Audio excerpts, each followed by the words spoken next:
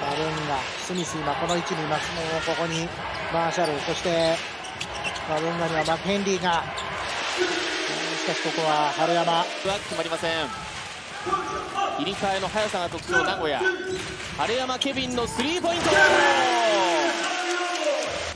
まあ、エフォートといいますか頑張りや努力、エネルギーっていうのがもしかしたらポイントになるかもしれないですね。春山ケビンスリーポイント、はこれジュリアン、12点差。はい、マーブナ選手来ると思います。マブンが来るぞ。マブンが来た。マブンが来た。そしてパスだ。春山スリー、そうですよね。もう完全に。ジョシュア・スミスみたいです春山のスリーポイントどうだ決まりました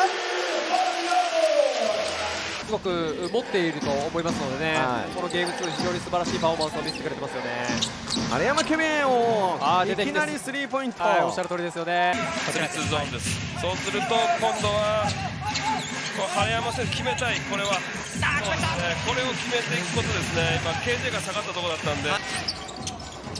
これはいいパスがつながったぞ春山ここにジョンソン。そして春山オフェンスリバウンド2つ続けてそして得点。非常にいい形で第1クォーター入っています。